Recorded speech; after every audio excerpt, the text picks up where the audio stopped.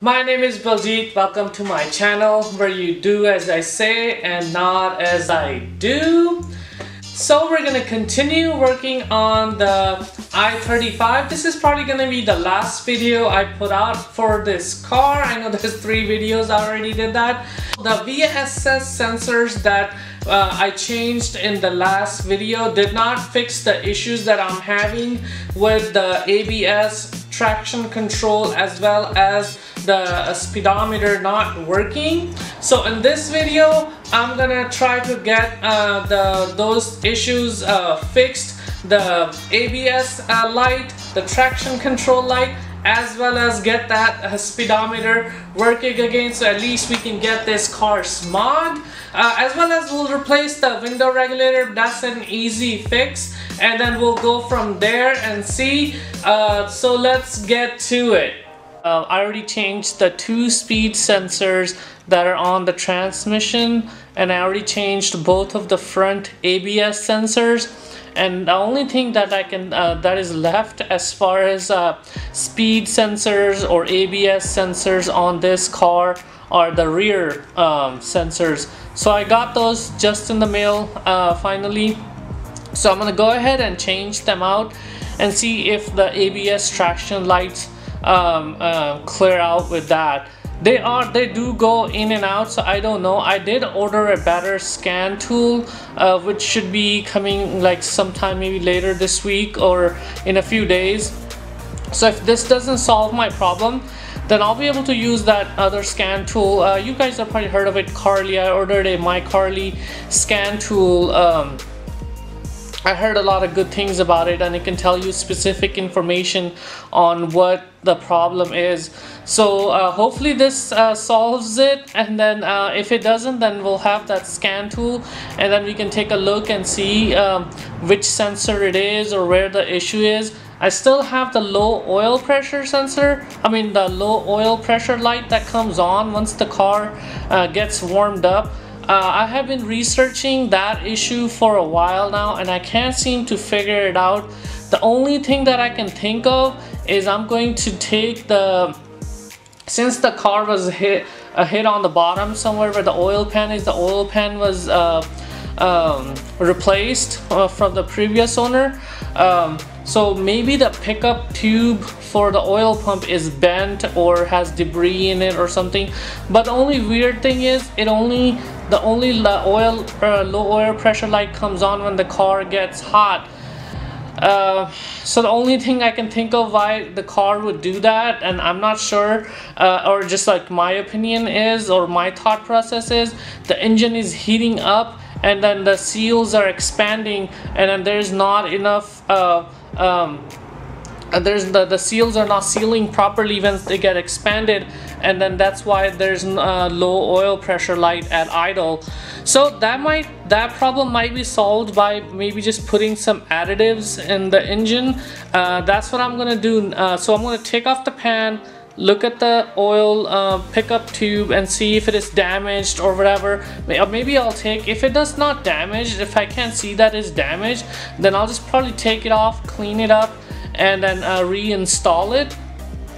And then uh, if that doesn't solve my problem then I'm probably gonna uh, or, or if I don't see anything that, that the tube was uh, damaged or anything like that then I'll probably uh, when I put the oil back in the car I'll add some additives. The stuff that I've used been using all uh, since I was like uh, driving cars and like you know changing my own oils is if I have a car that has like over 150,000 miles uh, and it's new to me I usually put this stuff called Restore 4 they come in two sizes like uh, a small for four cylinder and like a big one for like six cylinder or bigger. So I'll probably add a can of that into the engine. I'll probably just do that just in case.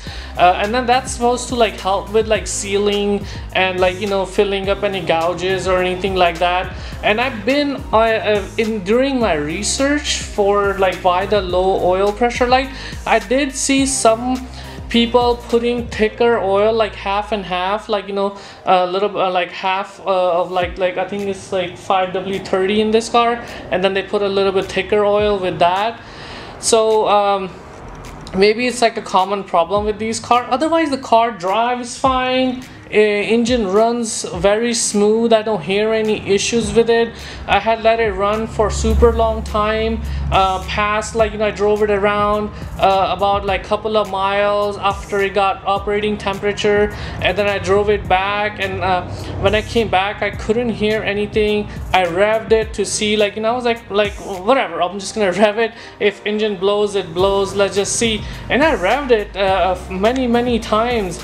Um, and, and, the engine runs smooth i don't see and i don't hear anything. So i'm not sure what the problem is or why i have the low oil pressure light because i already changed the oil pressure sensor on this car. But anyways i'm gonna go ahead and get these sensors changed out and actually at least see if one of my problems get resolved and then go from there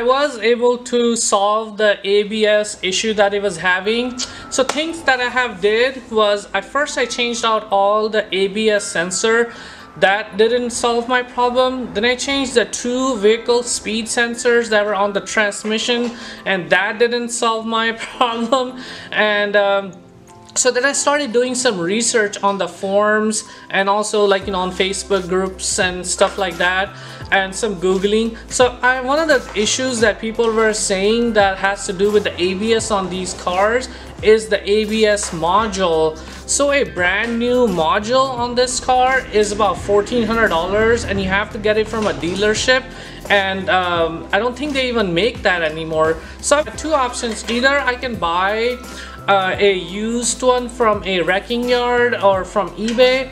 Or the second option which I chose is uh, there are people on eBay or on just like if you google uh, them um, what they do is they rebuild modules and uh, uh, your computers in your cars and stuff like that.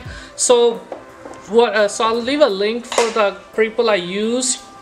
These people are in Southern California so I'm in Northern California so I ship I took off the ABS module and I shipped it to them and it took them like a few days to receive it. Then they fixed it right away and made the repairs and they sent it back to me and I got it like with, it was a whole process took like a week from me shipping it to them and me receiving it back. And the cost of doing something like that is around like 100 to 150 dollars depending on what you're doing. And I have used these kind of services in the past I had a E36 M3 that I was working on and it, it wasn't starting and so, so, some of the research I done uh, suggested that it's the EWS preventing it. So you can take the car to the dealership and they can like reprogram it and it can cost you a lot of money and the issue can come up again so a lot of people what they do is they just delete the EWS off of the car which is basically like an immobilizer like just in case if your car gets stolen or or whatnot.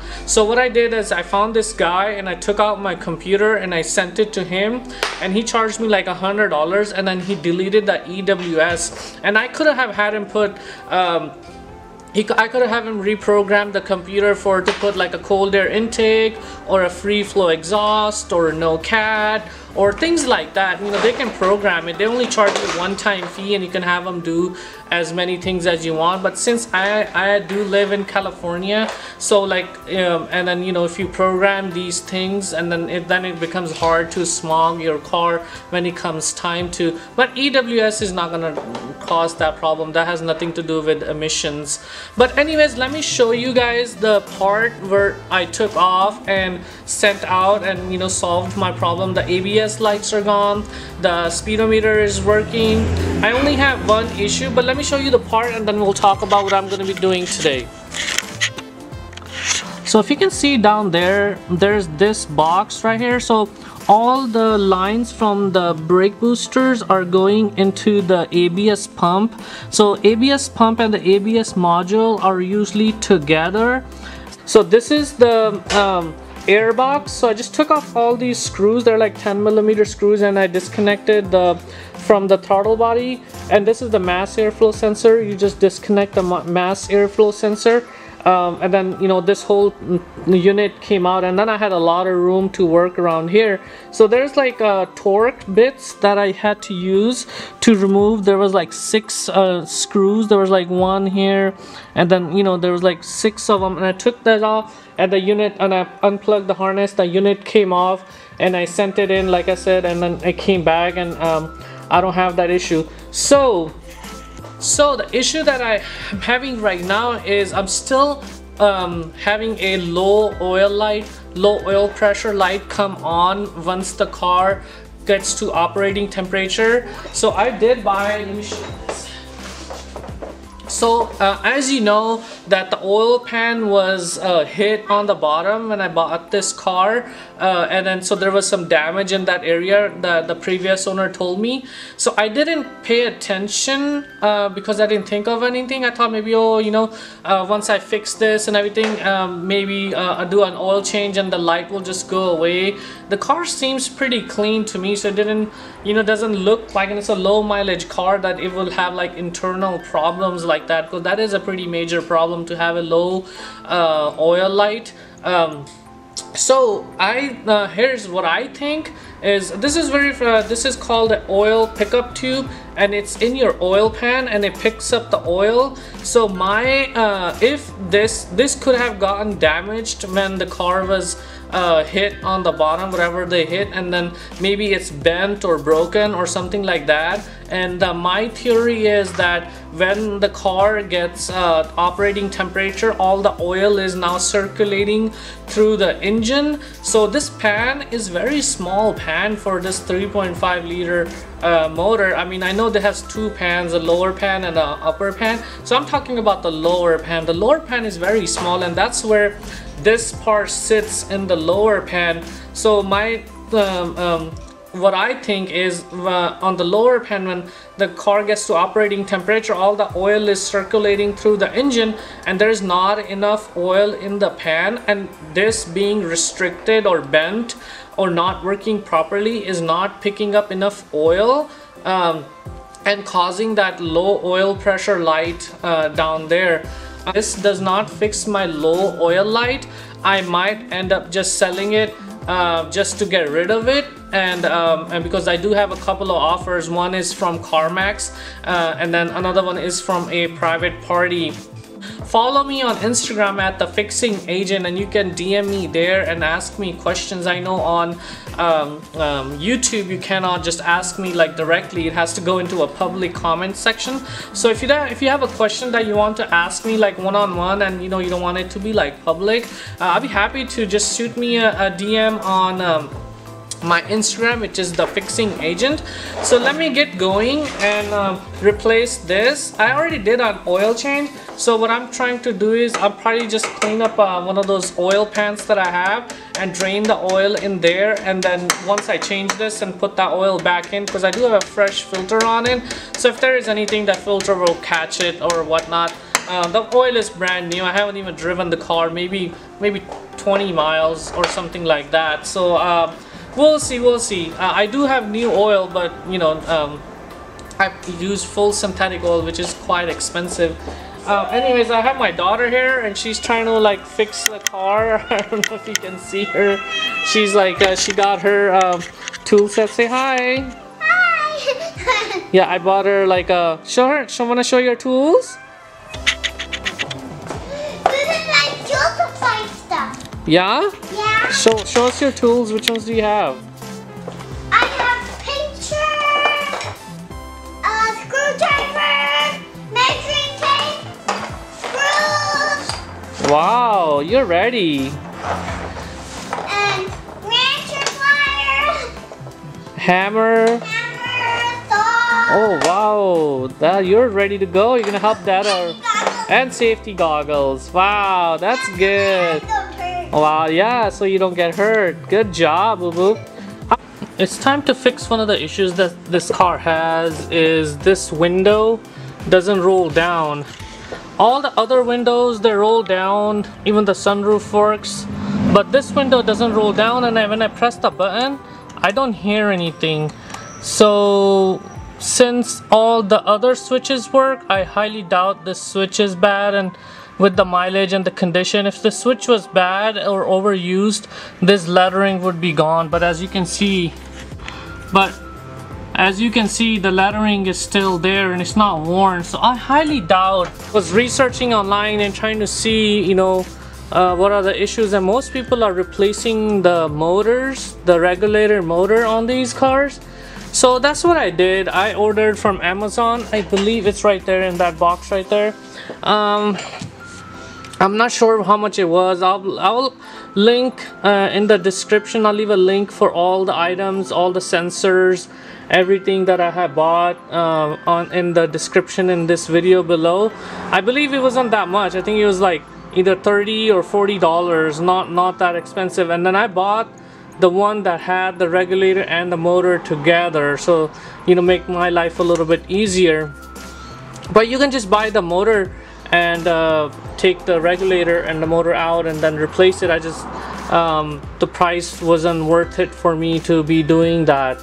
And um, so anyway so I'm gonna go ahead and remove this panel. There's only like a there's there's a bolt here and a Phillips screw right there. I'm gonna I have already undone those so I'm gonna pop this panel off um, door panel off and see what's going on under there hey hopefully I got lucky maybe he's just disconnected or something like that I, I you never know these things but I already have the window regulator with the motor on so we'll just see and anyways Alright, quick update for you guys. You get to see the door panel. Something really interesting. this car has definitely been messed around with, trying to fix it. And somebody gave up or I don't know what's going on with this car. I mean, um, mechanically it drives pretty good. I drove it around. But the issues that I'm finding are like really, really weird just like the oil cooler or the uh, oil filter housing uh, o-ring was wrong I think it was wrong and it, it was leaking and then you know oil pan was just put on there with RTV no gasket and uh, the same thing with this window. There is no window regulator. I was wondering what this gray plug is for and I looked on the on the switch and on the other stuff and I couldn't figure it out because it was unplugged and it kind of was like a red flag. I was like why? I, mean, I thought I got lucky. I thought that I got lucky. Well let me turn this around. I thought I got lucky that like oh my god only thing that's wrong is somebody forgot to uh, plug this uh, connector into the door and maybe they were working on it and that's why the window is not working. I was so excited. And all that just went down the drain. My excitement was over in a minute once I found out and it got worse. I'm gonna show you guys.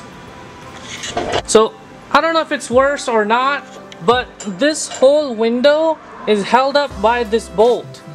That's the only thing that's holding this window up and that's why it's like loose and whatever. And there is no window regulator. The window regulator is missing and no motor or nothing like that so good thing I bought the window regulator with the motor so that way I have everything. I just I just wish that it comes with bolts but I do have bolts. Uh, I can figure that one out. That's not a big deal. Uh, but yeah there is no window regulator in here. There's no window regulator. There is no motor. Then this window is being held up by this bolt right here that like right there this this one.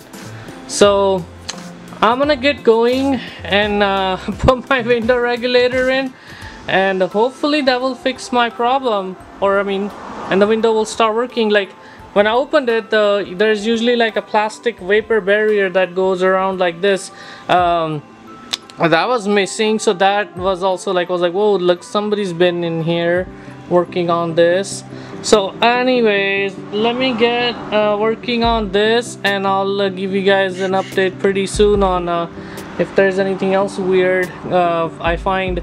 So alright guys this is going to be a wrap on this car. Uh, this car is being picked up in an hour. So just to recap I got this car for $1,500 and I put about $200 uh, in parts in this car. And uh, the guys uh, we agreed on a price of $2,000 for this car. Planned on making a lot of profit on this car and sell it for about four 4,000 4,500 but this car has an issue that I can't figure out or I don't want to put my time in it and uh, it's like a low oil light so it could be as simple as changing the oil pump which is still not a simple job. You still have to pretty much take off like the whole bottom end of the car or it could be worn out uh, bearings because oil pressure is created with the rod bearings so that could be the issue Rod bearings will be the worst case scenario. Oil pump, not so much. So I was upfront with the buyer. He's actually did some work on my wife's car for me and he was here. So I told him I'm trying to sell this car. This car is smog and I do have the title so that that is something positive going on car as well as it runs and drives. It runs and drives fine. I drove it on the freeway. I drove it around the streets. It's it's a good running car but at, it does have a low oil light at around idle. So once you give it some gas so oil pressure builds up and the light goes away. But anyways um, I have another um, something that I want to share with you guys is this is probably going to be my last uh, flip for my road to my C8 Corvette for a while. So when you get into a rhythm you know you just keep buying cars fixing them selling them so I was I was going on. So this is like my fourth or fifth flip that I did in the last I would say six months Another thing was that uh, by now, this is end of 2021, I thought the prices for the 2020 C8 Corvettes would come down and I would be able to buy one um, for about 50 to 40,000 dollars. And as we all know that is not the case. So that is another reason the prices hasn't dropped and they are holding around $100,000 and that's not something even with flipping cars I don't want to spend that kind of money on a on a, a used Corvette or a Corvette for that uh, you know matters because I'm just looking for a 1LT nothing special or, or whatever so so what my plan is for this series is I'm gonna put it on pause. Just wanted to give you guys a little recap of where I stand with this uh, series, my road to my C8 Corvette. At the moment, I have about $7,500 uh, in cash from the sales of the flips, as well as uh, I bought the 99 Eclipse with that money, as well as the 1971 Cadillac Coupe. So I have $7,500 in cash and two cars. And another reason that I'm stopping this is this car, um, um, it kind of uh, um, wasn't selling uh, actually that was another reason. I put it up for sale. It's been on, on sale for like two weeks or maybe uh, things are changing. It is um, uh, uh, early uh, November so I put this car in sale for like mid-October. So that's when all these like the stimulus and then the forbearance programs all these like uh, government programs had ended during that time. And that could have been a reason people didn't have the extra money to spend on a used car. So there was like a, a time frame where I wasn't even getting offers. I wasn't even getting lowball offers. So I'm gonna wait and see what happens next year. If the market picks up again um, I'll give it a, a little um, um, a little trial. I'll buy like a car and see and fix it and sell it and see. If it picks back up again then I'll continue to do it. But definitely once I buy my uh, or once I get my C8 Corvette that's when I plan on continuing with this uh, series and uh, pay off that car whatever the remaining balance is. Uh, until then I hope you guys enjoy me working on the Eclipse and as well as on the uh, Cadillac Coupe. So that is my game plan and those are the reasons that why I'm putting a pause on this video series. Other than that I hope you guys uh, like this video. If you do please uh, smash that like button and also subscribe to my channel. Also share this video with anybody that would like this kind of a content. And uh, look forward to my other videos coming out uh, on my 99 Eclipse that I'm turning it into a Fast and the Furious Eclipse. I'm still doing that. Hopefully, uh, you know, I can get that car running so I can move on forward with that project. And I'm also still waiting on some paperwork for the Cadillac Coupe before I can start working on that car. So um, anyways, I hope you guys enjoyed this video. Other than that, I uh, hope you guys make it a fantastic day.